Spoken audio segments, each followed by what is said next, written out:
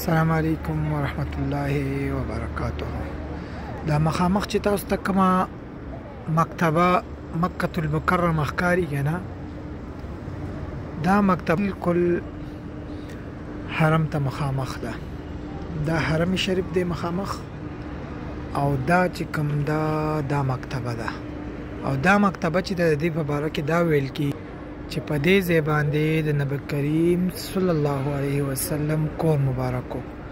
په دې ځای باندې د نبی کریم صلی الله علیه وسلم کور مبارک وو او په هغه کور باندې مکتبه جوړ کړه صحیح ده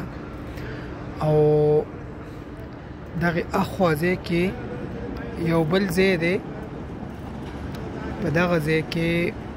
هر څه په قدیم قدیمی حالاتو کې دي لکه